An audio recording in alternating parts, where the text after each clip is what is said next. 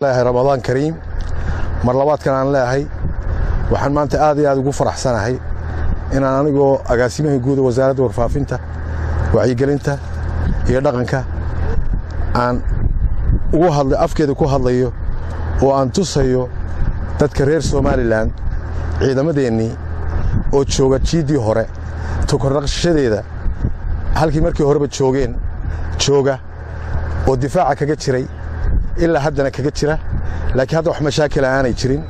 oo nimankii ay jabeen oo ay socdeen oo iyana meel halkaasa ay soo fadhfadhiyaan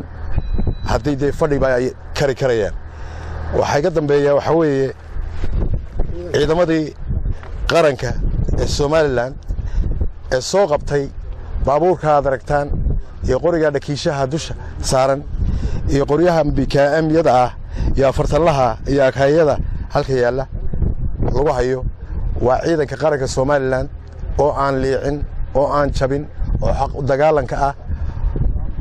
oo dhulkoodii iyo dadkoodii difaacaya oo qaab qaabdhisme ciidan qaran leh aan ahayn mid beela lagu keenay aan ahayn kuwo kala qaloonaya aan ahayn kuwo qoys qoysa oo ah ciidanka qaranka somalilan waxaa ka muuqda social mediaha iyo beentaa la aloosaya waxba kama jiraan. Ilaahay kala sii waxay kala mudnaayeen shalayto. Ilaahay waa kala siiyey